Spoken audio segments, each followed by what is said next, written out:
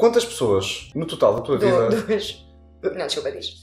Não, não, diz lá, eu quero saber a pergunta. Quantas pessoas no total da tua vida é que tu já fizeste agachar? Ah, isso é sempre com amigas, não é? Sério? Ah, sim, ah, estás a claro. pensar no contexto tipo de, De dança. Ok, ok, Nós ok. não agachamos muito, nós agachávamos. Pois, pois. Não, eu lembro, assim, na minha eh, idade adulta, Sim. não agachei em. Agachei aos 15. E quantas pessoas é que já agacharam Oh, contigo? três- mais duas amigas, três máximo. Sim? Estas que elas ficaram felizes por estarem a agachar contigo? Não, ninguém Não? está feliz nunca agachar. Nunca, ninguém está feliz, nunca. Nenhum agachado está Não. feliz.